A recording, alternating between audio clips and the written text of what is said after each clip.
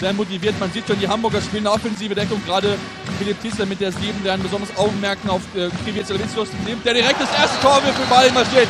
1 zu 0.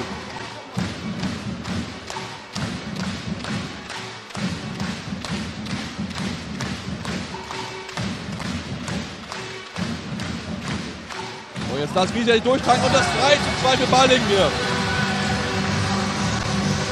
Ganz schöne Räume jetzt gerade. Letzten zwei Angriffe durch den vorgezogen. Also von daher ganz, ganz starker Mann. So, der Arm ist oben. Jetzt muss der Wurf gleich kommen. Ja. Und Marc verhält ihn.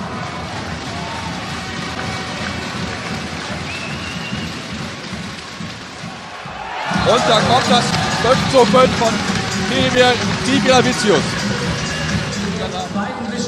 Was bisher so noch gar nicht passiert ist, das Anspiel über die Kreise. Also die Kreisläufer sind bisher auf beiden Seiten bisher sehr abgemeldet. Genau, sie sind auch sehr, sehr, sehr, sehr gut deckt. Aber man muss auch sagen, bisher war es auch nicht, nicht nötig, das Driven-Go-Spiel, weil die Halbpositionen oder, oder auch Martin so Mitte Halbposition sehr, sehr gut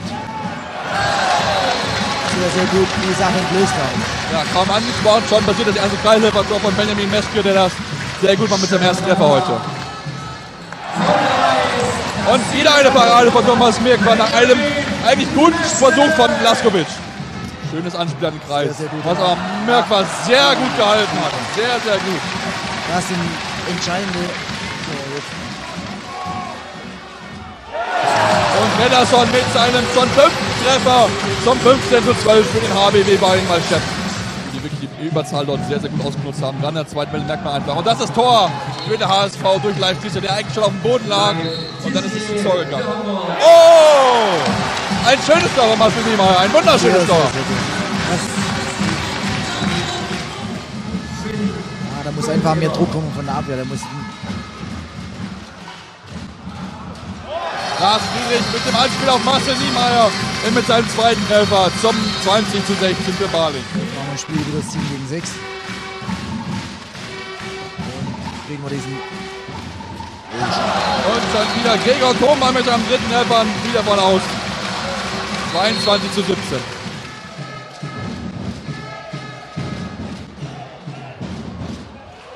Eigentlich schönes Anspiel an Kreis, aber Dominik Krug kann den Ball leider nicht verwerfen.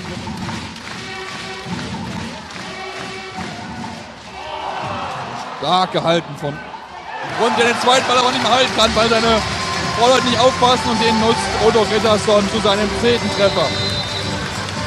26 zu 20 und die Auszeit von Polo Jansen folgt direkt hinterher. So entscheidende Situation. So, der Arm ist oben. Reinschuld bereit den Ballwurf voll von der in oben rechts den Mickel reinhaut. Zum 28 zu 23. Sehr, sehr gut. Oh! Oi, oi, oi, oi. Was ein Bombenpass! No look! Wahnsinn. Und zwei Minuten gegen äh, Niklas Weller. Sehr, sehr stark.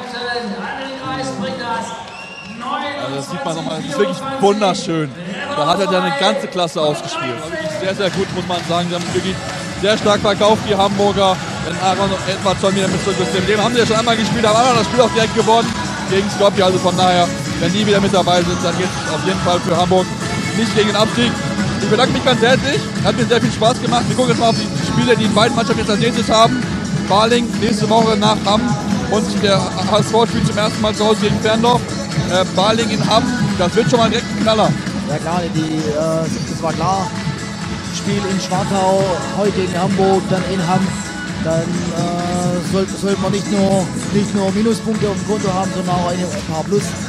Und äh, ja, natürlich, die nächste, der nächste Kampf in Hamm, da muss man, damit er Vollgas kann und äh, einfach konzentriert bei der Sache bleiben und dann, dann ist auch in Hamm was drin.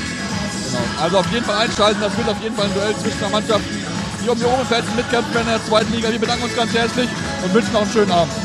Ja, schönen Abend noch zusammen. Ciao.